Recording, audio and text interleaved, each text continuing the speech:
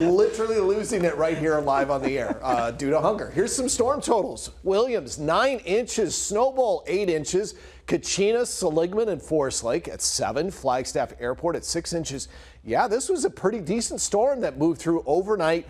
Most of the snow totals came early this morning. Driving was treacherous on I-40 and I-17. Look at Payson. Prescott, three inches, two and a half in Payson. Dewey, Humboldt, and Show Low each at one. Look for that uh, possibly to increase a little bit overnight tonight. Outside right now on your Friday evening, it's 57 degrees. Winds out of the west southwest at 9. Uh, temperatures right now up in the high country. Yeah, it's slick. It's 24 in Flagstaff. Right around the freeze mark, which means, uh, means slick roads up in Sedona and Payson and Prescott, and 28 in Show Low.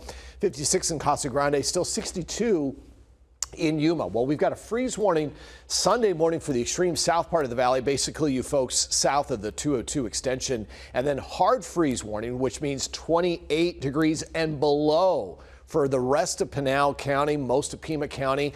Also a hard freeze warning Sunday morning uh, out just to the west of us uh, over there in Yuma and La Paz County. Here's a look at our morning lows. So yeah, right on the freeze mark for Queen Creek and then below freezing in Maricopa. This is tomorrow morning. It's going to be crisp and chilly out there, but it is going to be a sunny day because that low is now pulling off to the east of us. Is there more snow in the forecast? Yeah, over in far northeastern and eastern Arizona, you could pick up maybe just under an inch, so snow flurries, so travel will still be a little bit dangerous. But our big headline as we move through the weekend is we've got cold mornings ahead through the weekend and again on Monday, and then we're going to first alert because we think we're going to have at or below freezing temperatures for a vast majority of the valley on Tuesday morning. So we want you to be uh, alert and ready for that situation. And then Wednesday, Thursday, Friday, we're going to start to warm up into the mid 60s by Friday. All right.